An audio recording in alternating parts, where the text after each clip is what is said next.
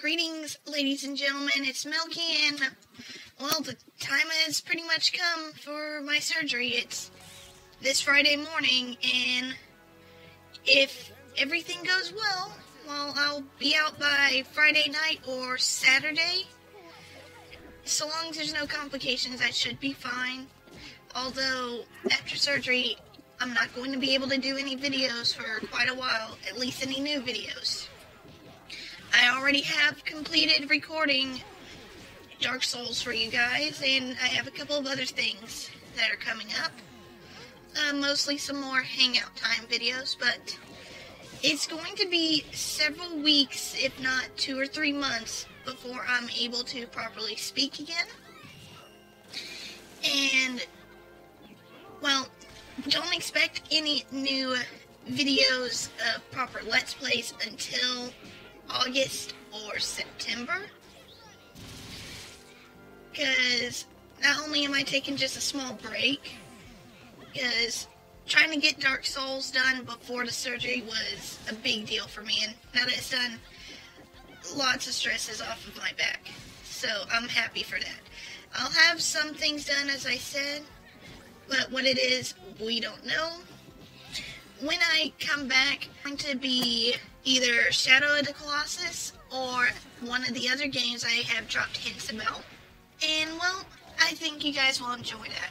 I should also hopefully by that time have a new mic, an actual proper one for recording and such. Because I know a lot of you have complaints about being barely able to hear me and having to go through and normalize all the audio for every single video I have to do and lower the game audio. It's a bit of a pain. And, you know, I'm a little tired of it. That's why I want to get a new mic and everything for you guys. Anyways, to the real reason what the surgery is, I have a genetic defect in which my vocals constantly grow it's not a very fast growth. It's small, slow, gradual growth. And when they get too large, it prevents me from eating, from speaking properly, to breathing. It just becomes a big issue health wise because when it blocks up that airways and everything, it's a little hard. It's hard to do anything. Every couple of years, I had to have the surgery, which pretty much they cut out parts of my cords and this reduces the size of them. And also, because I have muscles right over there that tear as well whenever I'm talking and breathing. This, they also stitch that up because my muscles just like to tear a lot. That runs in my family. We have tearing muscles and such. Well, it'll help prevent me from coughing up more blood and everything. As you may notice, I cough a lot. And usually whenever I do, there's blood that's always coming out.